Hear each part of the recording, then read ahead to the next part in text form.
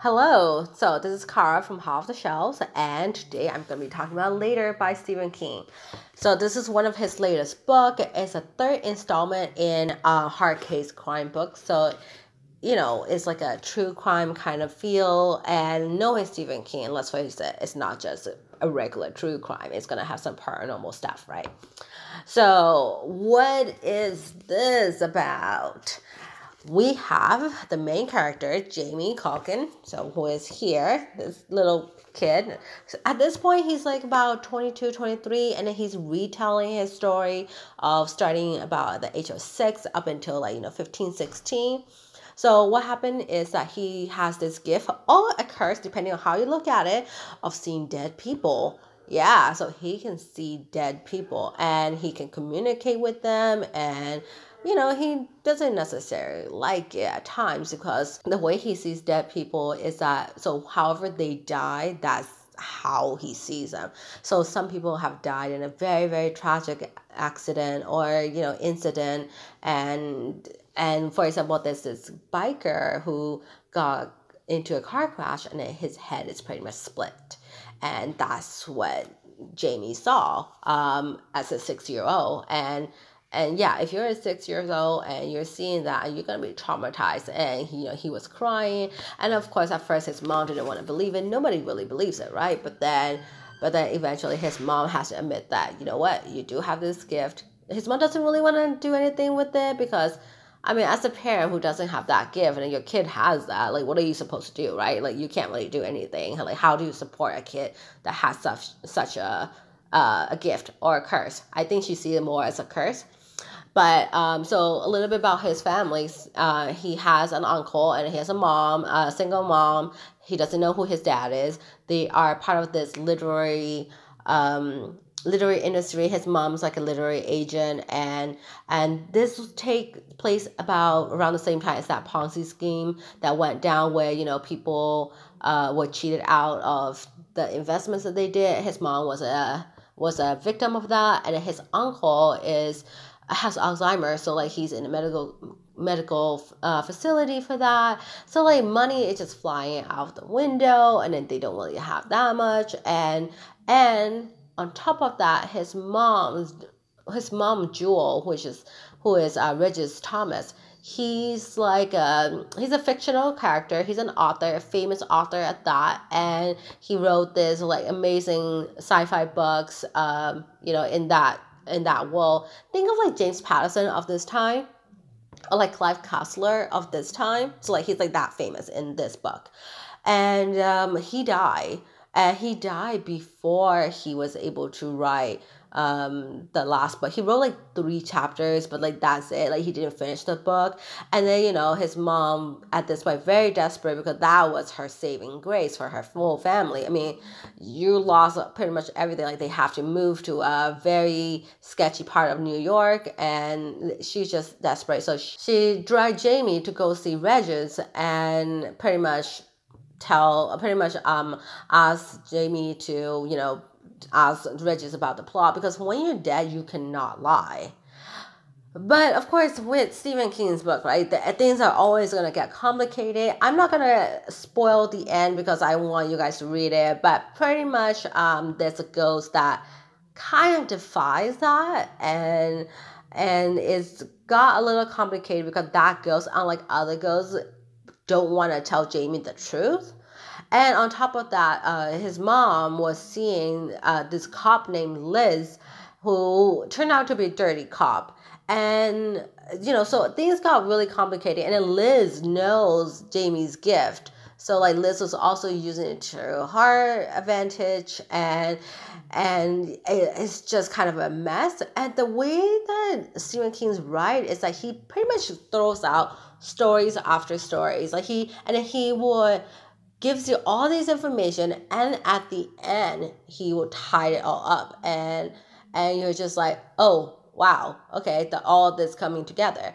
And the cool thing is you know i gotta say so the whole time i'm reading this book i never got a feeling that that that uh that stephen king I don't know how old he is, but you know he is pretty old. I don't ever get the the feeling that an older person is writing or uh, writing a younger voice because this whole time uh, at the, like I said, at this point, Jamie is like 23, and I just feel like I'm reading some 20 year old oh, um, retelling of his own life. Like I never got the feeling that that it was an older man that was writing in the voices of the young. So that was really cool.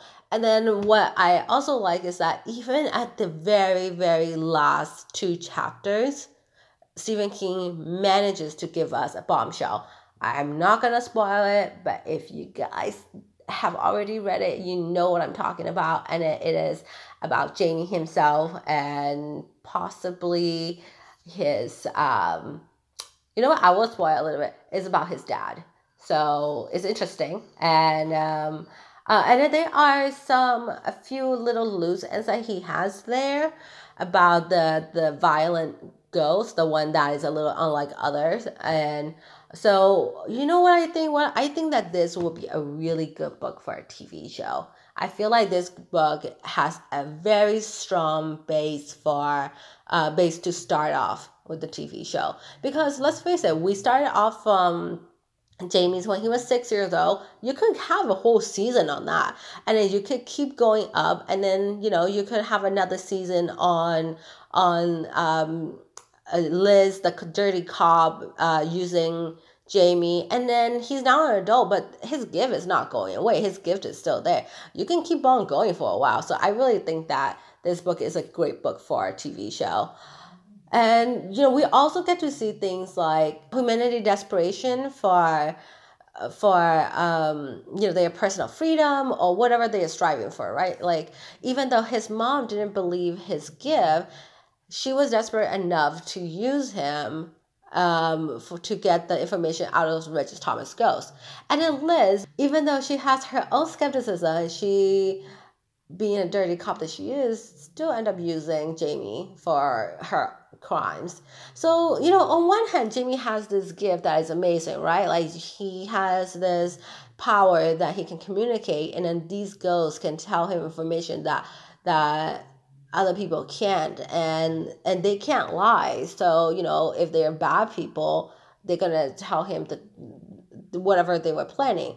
But at the same time as a Jamie, as Jamie uh, you know it's also a curse because you have people just taking advantage of you and then you uh, care about these people. So on one hand you understand that that you're saving humanity in some sort in some kind of form. But at the same time it sucks that people don't believe you unless they're desperate enough to use you.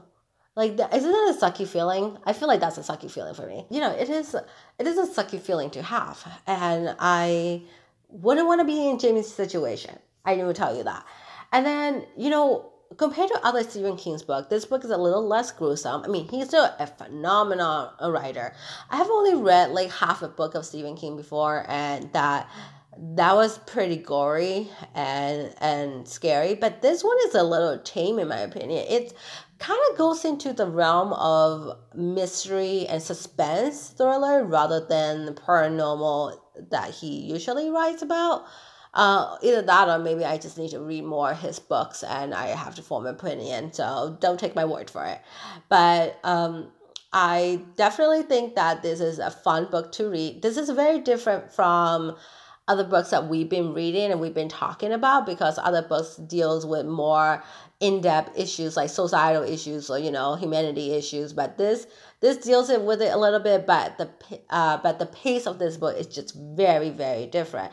I mean it's pretty much an action book. Like it the chapters are short and it's a very very easy book to read. I don't think that it was hard at all. And i think that that it flows very naturally so that's pretty cool um, what would I give this book? I know I, you know, I try to think about any criticism that I will have for this book, and I can't find any. So this is definitely a five out of five for me. I, it was really fun for me to read, and I'm pretty sure at some point in the future somebody is gonna pick up this book and turn it into either a movie or a a TV show. TV show will be probably be better because you can get to go in depth a lot more with Jamie and you know side characters. But a movie will work well as well. So who knows? I'm excited. Anyway, um, that's it for the book review. If you are still watching, thank you so much, and don't forget to check out our podcast because we go in a lot, a lot more depth with this book. So it's under the same name, Hot Off the Shelves, and you know it's available anywhere that you listen. And you know just reach out to us, give us a shout out, uh, give us a subscribe, like, or if you have any questions, just reach out to us on Instagram because we're pretty active in there. All right, guys, see you next time. Bye.